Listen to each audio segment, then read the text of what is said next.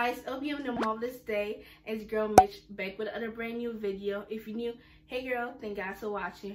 Before I'm gonna start this video, make sure subscribe, like, and comment down some eyes on my channel.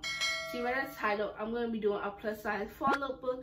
I kind of been like, should I do it or should I not? But hey, I'm doing this video, and I hope you enjoy. And yeah, let's get on to this lookbook.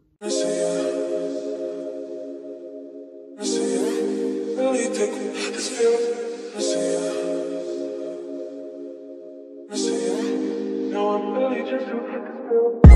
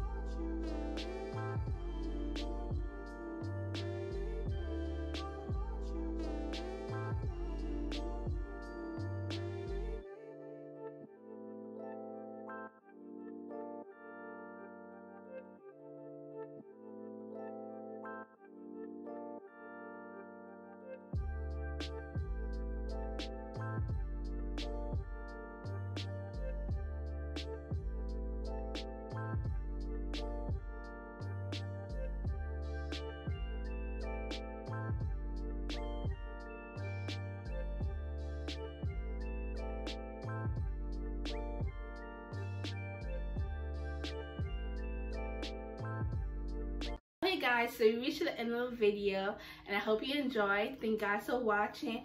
And comment down some items you want to see on my channel. And i hope you're having a marvelous day. Bye